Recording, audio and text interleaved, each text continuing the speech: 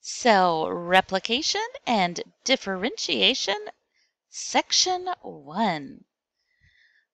In replication and differentiation, we have two terms here that mean very different things, but they are related to each other. Let's take a look at an example. You started life as a single cell called a zygote. That cell replicated in a cell division called mitosis. Now we have two. Those two cells then each made another identical copy of themselves. So instead of two cells, there are now four. That process continued, but the cells began to differentiate to make different types of U cells. And now you have trillions of cells. So grab a picture of yourself or take one really quickly and post that picture here. Based on the story of you from one cell to trillions, what do you think is the meaning of replicate? No wrong answers here. What do you think is the meaning of differentiate? No wrong answers here. This is what you think. Make sure to add your answers, though, to these two along with the picture of yourself. When you're ready, you can unpause the video to continue.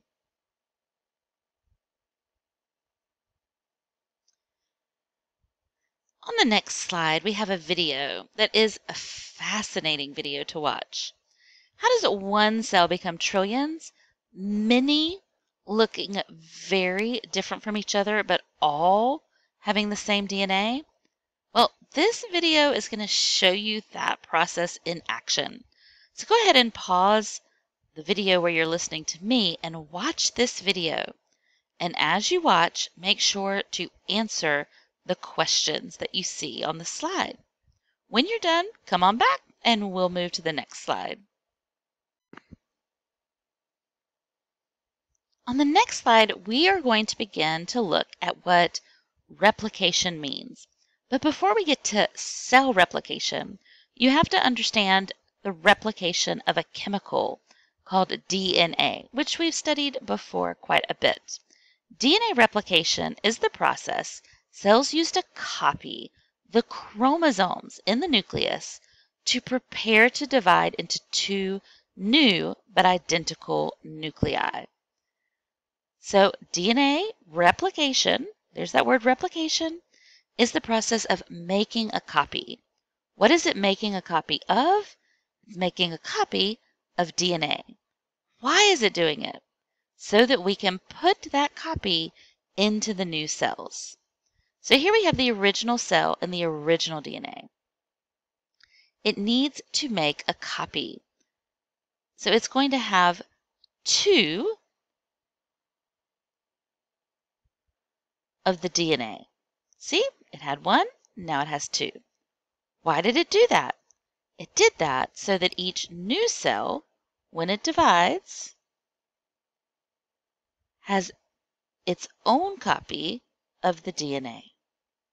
So the original cell made a copy, and then that original cell split in two, and each half had its own copy. That is the general overview of DNA replication. Now let's take a much closer look. Do you recognize this structure? This is a DNA ladder. When DNA replication happens, it's pretty straightforward. There's two basic steps. First, the original DNA is going to unzip. How does it do that? Well, if you pull this side, there we go. What we have done is broken the hydrogen bonds, which are weak bonds that were joining together the base pairs. What happens next? Each of these sides is now separate, and the cell has loose nucleotides, free nucleotides, that it is going to use to build a new side for each of these originals.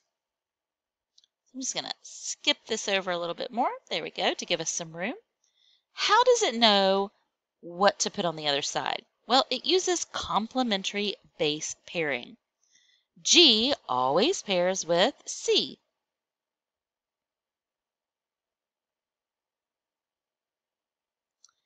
A always pairs with T. G always pairs with C.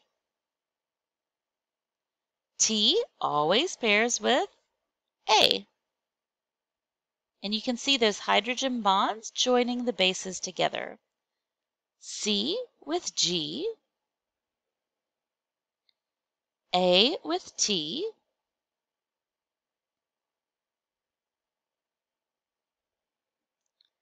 and T with A. I didn't line those up perfectly, but you get the idea. And remember that each of these bases has a sugar and phosphate attached. So they come with their own backbone. We have this other side. It still doesn't have a partner, and the cell is going to go through the same process to pair up bases using complementary base pairing. So if there's an A, it's going to pair it up with a T.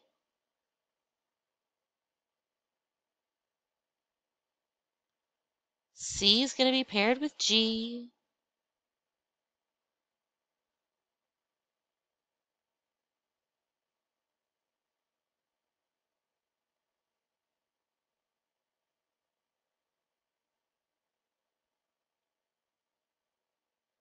And each of these came with its own sugar and phosphate, which helps form the new backbone. And so now we have these two DNA molecules, whereas before we had just one. And because of base pairing, they are identical in sequence. GAG, TCA, T. GAG, TCA, T.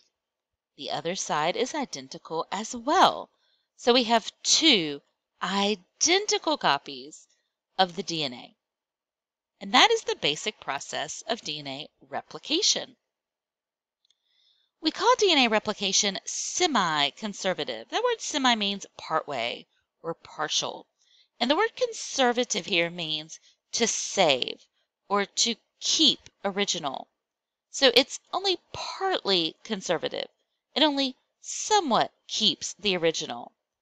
When the DNA splits, it uses loose nucleotides to form a new side for each of the originals, which means that the new DNA is half old and half new. Take a minute and use the colors red for the original, blue for the new, to explain how this DNA at the end is half old and half new. If you need help, you can pause this video while you do that and then check your answer by coming back here. Were you able to explain it? Here's my explanation. The original DNA is in red. It moves apart, and the cell builds a new half for each original. The new DNA is in blue. The two copies at the end are each half old, red, and that is the conservative or conserved part, and half new, blue. Let's see if you remember the steps of DNA replication. Drag these in order and then check your answers here by unpausing the video.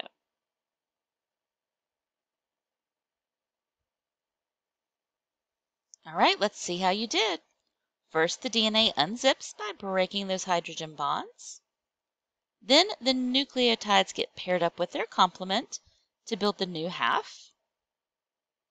And that allows the cell to divide and give an identical copy to each of the new cells. I hope this was helpful. I'll see you next time. Until then, have a great day.